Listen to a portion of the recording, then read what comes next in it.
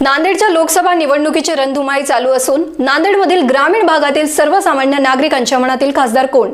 याचा ground report घेतलाय आमचे प्रतिनिधी तानाजी शेळगावकर यांनी. पाहुयात. तर लोकसभेची रणधुमाळी चालू आहे आणि आपलं मत कोणाला असणार आहे? आमचं मत जे मराठा समाजाला आजपर्यंत आरक्षणाचं गाजर दाखवून आम्हाला भुलतापा देण्याचं काम केलं ह्या सरकारनं महायुती सरकारनं. त्या सरकारच्या विरोधात कोणालाही मतदान करावं हे आमचं मराठा समाजाचं प्रत्येकाला आव्हान आहे. आणि आमच्या समाज सकल मराठा समाज हा तोच करणार आहे. भाजप सोडून इतर कोणालाही मतदान होणार.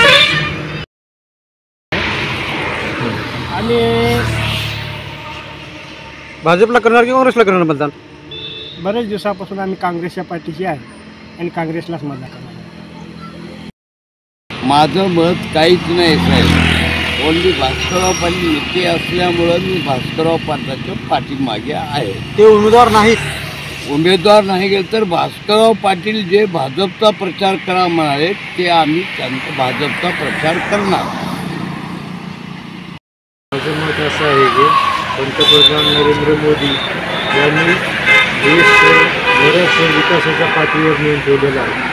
त्याच्यासाठी मोदी साहेबांचे हात बळकट करण्यासाठी प्रताप पाटील चिखलीकर यांना मतदान करून परे पंतप्रधान नरेंद्र मोदींचे हात बळकट करावं अशी माझी इच्छा मनापासून आहे. महाराष्ट्र न्यूजमध्ये सर्वप्रथम सर्व प्रेक्षकांचं स्वागत. आपण सध्या आता नांदेडच्या नरशी शहरामध्ये आहोत. आणि नांदेडमध्ये सध्या लोकसभेची रणधुमाळी चालू असल्याचे आपल्याला सर्वत्र दिसत आहे. आणि आपण जनतेचं मत काय आहे हे पाहणार आहोत. अ, काका नमस्कार. नमस्कार सर नमस्कार. काय सध्या आता लोकसभेचं काय अ, सध्या चालू आहे आता सध्या? सर लोकसभेचं असं वार आहे जनतेमधून ह्या दहा पंधरा वर्षामध्ये भारतीय जनता पार्टीनं सुशिक्षित बेकारांना रोजगार दिलेला नाही. लोकांना हाताला काम दिलेलं नाही पण जे सुशिक्षित बेकार आहेत. दरवर्षी हजारो आपले सुशिक्षित बेकार तयार होत आहेत कॉलेजमधून त्यांना एकालाही नोकरी नाही. आणि त्यांची भरतीसुद्धा केली नाही. आणि त्यांनी जनतेमध्ये आम्ही पंधरा हजार पंधरा लाख रुपये देतो. एका एका मेंबरला म्हणून त्यांनी सांगितलं होतं मोदीनं पण एकालाही पैसे जमा केले नाहीत. त्याशिवाय शेतमालांना भाव नाही. शेतमालाच्या भावाविषयी लोक ज गरीब शेतकरी तीन तीन वर्षाचा माल एका एका घरामध्ये ठेवून राबून तो माल आता खराब होत जात आहे तरी पण काढत नाहीत. भाव नसल्यामुळे त्यांना परवडत नाही म्हणून. उत्पन्नावर भाव नाही. त्याशिवाय जी एस टी हे भारत भारतीय जनता पार्टीनं जी एस टी लावलेली आहे.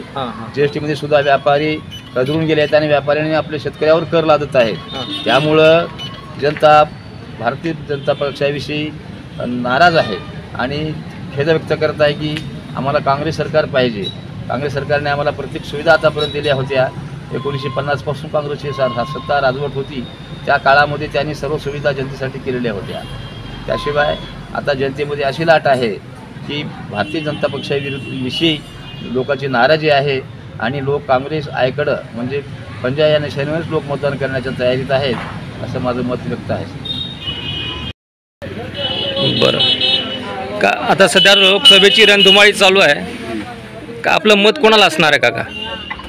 मत भाजपला. भाजपला. कारण काय अजून काय पाहिजे कारण? देशाचं चांगलं एक नेतृत्व चांगलं करणारा माणूस द्यायला काय? मध्ये आपलं मत कोणाला?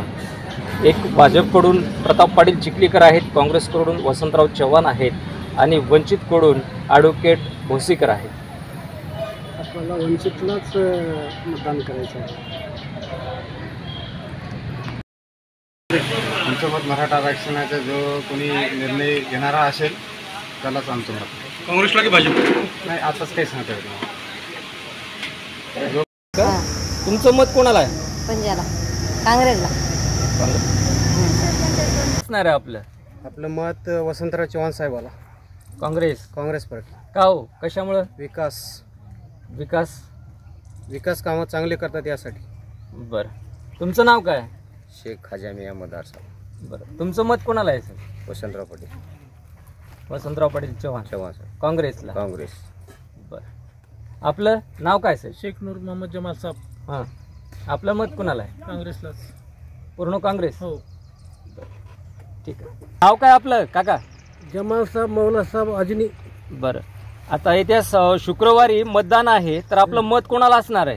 आम्ही वसंतराव चव्हाण साहेबला पाठिंबा देणार हो करणार हो मत. ते आमचे शेजारचे आहेत चांगले आहेत पहिलेपासूनच आहेत आमच्याकडे. बरं.